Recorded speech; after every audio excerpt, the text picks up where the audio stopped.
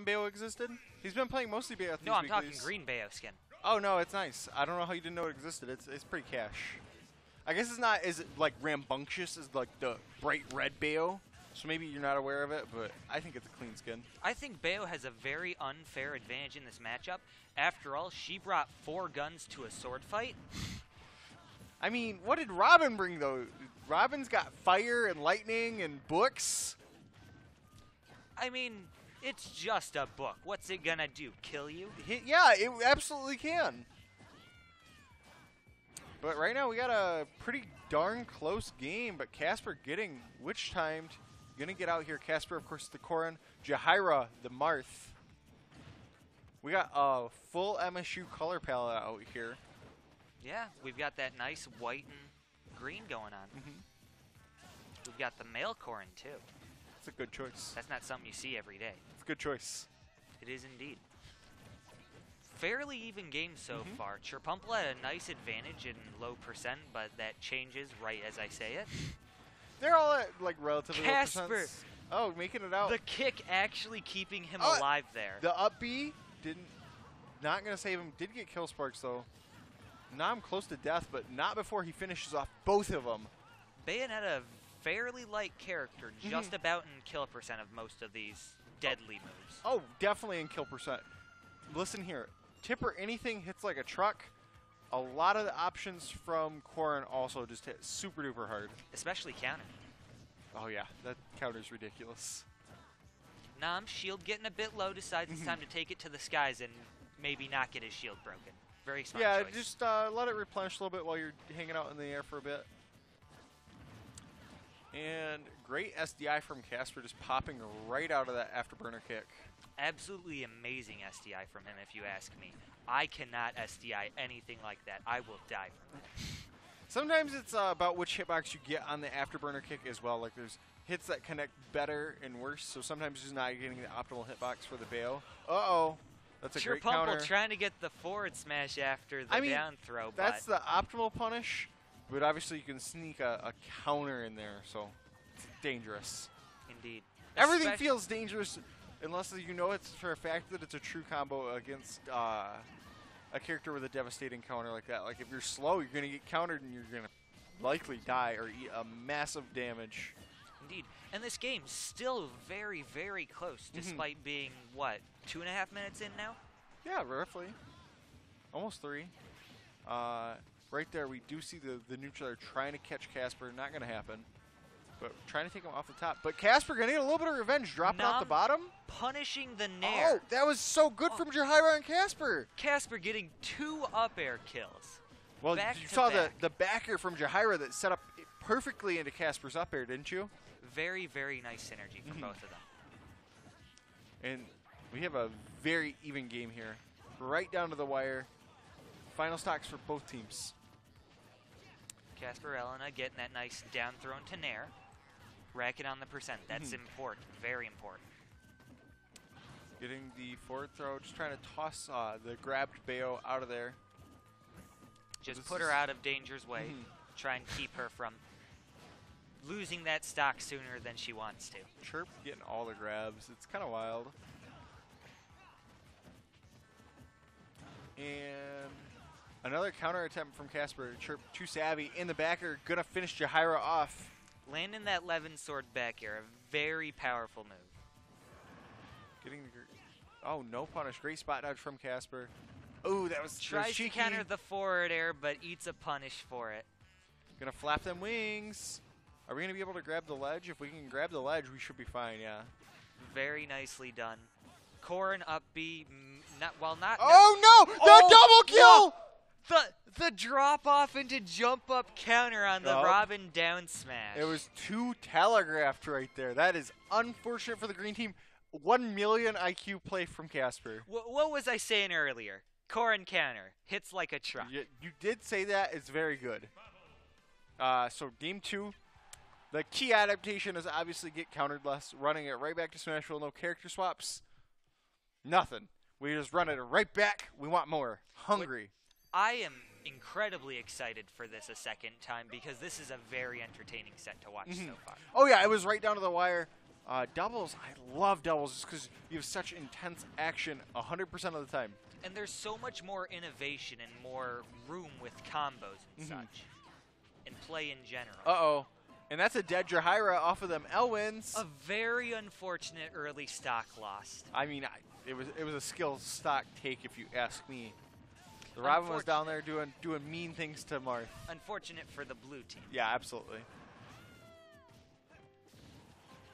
They're both doing very well to Mm-hmm. keep the pressure on and keep them against the side of the stage of the Mhm. Smashville, making them approach. Oh yeah, Cherpumple taking up most of the center stage and holding it there, keeping the white team very confined. But now we're seeing a little bit of flip of the table here, where the green team's kind of stuck in the corner, uh, with both of them being at high percents.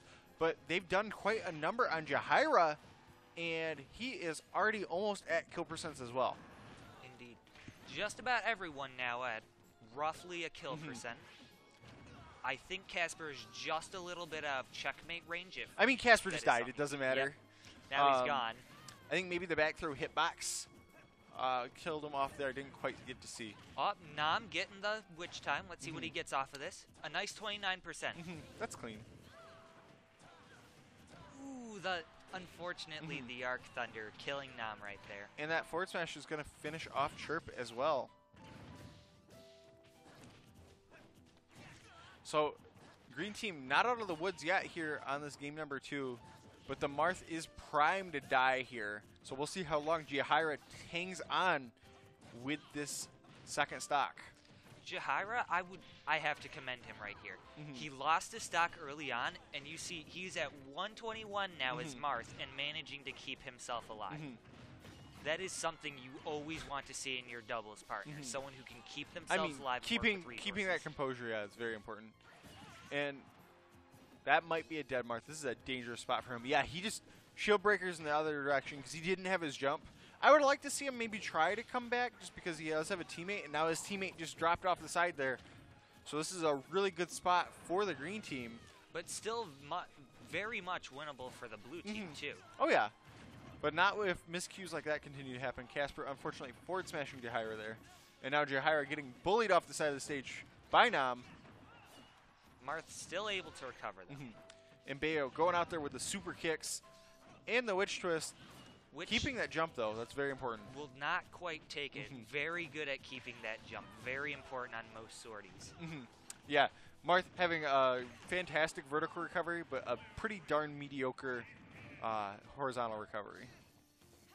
Nom took that stock very nicely off the top with an up air. Let's see if maybe Kasper can make something work, or if Nom and Cherpumple will just keep it clean. Take it to game sure. number three. That's what they're working towards right now. But maybe Kasper will have another crazy counterplay. Maybe. He's up against a lot of magic here with the Witch and the Mage. And the bear coming out. And Uh, there we go, Hitting pin. him with, with the classic, the classic Corrin, side B, kick him right in the jaw. Mhm, Absolutely. Arc Thunder coming out. It's going to get stuffed out by that disjoint. Holding onto the stock very Mhm. nicely, sitting at a pretty 110. This could be the end, though, if Yep. they play this right. Nom trying to be Hunter the Hungry here. Kasper, And just limiting Kasper's recovery options. Great fair from Cherpumple. Going to finish off that stock and take that game. We're going to game three. very nice job on Nom and Cherpumple's part right there at the end to cover his options for Mhm. recovering. Cherpumple was ready if he tried to recover high like he did to deliver a Oh, he was- the kill. He was forced to recover high because if he would have got hit by that Nair or a Witch Twist, Corrin would have been forced too low without the uh, rec- without the double jump to get the height necessary to come back. So we are going to game three here, uh, and I'm excited. I don't know. It's possible that Kasper switches. He plays a plethora of characters. He plays Mac and Ryu more notably than his Corrin, I would say at this point, unless he's put in more effort very recently with the Corrin. He is also, I recall, never mind.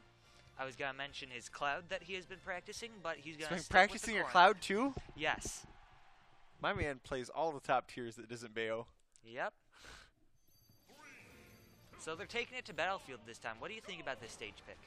Uh, it's it's pretty darn neutral for the the four characters. I imagine all of them feel pretty okay on it. There's not like a whole lot wonky about the stage.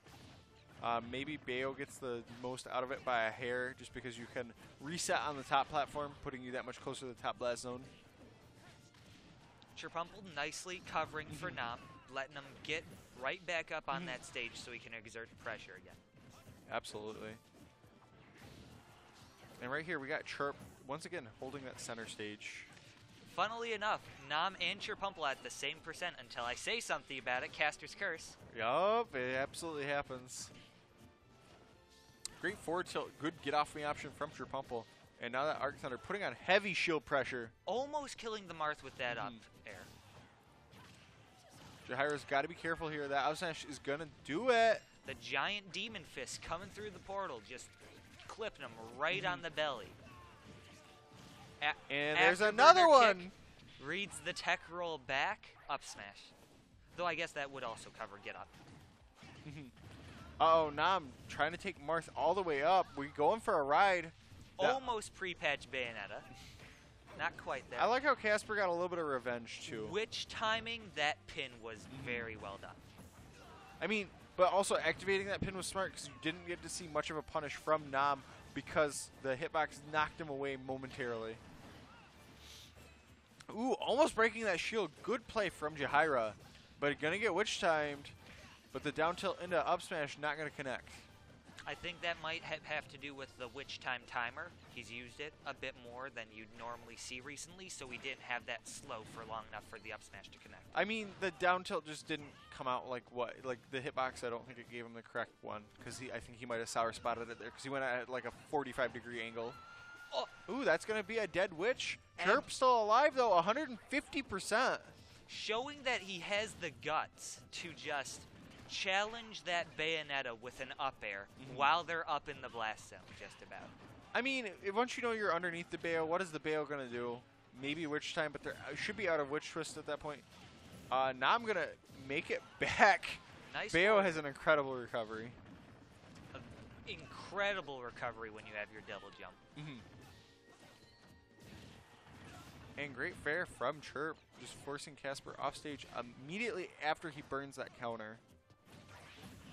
Kasper, up B taking the Mhm. first arc w- Elwind so he can get back on. Ooh, Just running right out of the up smash to Mhm. grab his partner. Jahira putting on heavy pressure on Nom right now, but switching his target to Chirp. This is this is dangerous. Uh, Kasper a, a danger spot to lose his stock, and there it is. That forward smash going to force the blue team down both to one stock each. Whereas Robin at a pretty healthy two stocks, Bayo looking a little sickly, but still maintaining that second stock. Nom playing that off stage amazingly, Mhm. pushing Kasper off as far as he can, and as soon as he gets back on Mhm. stage, he witch times the Marth. Right.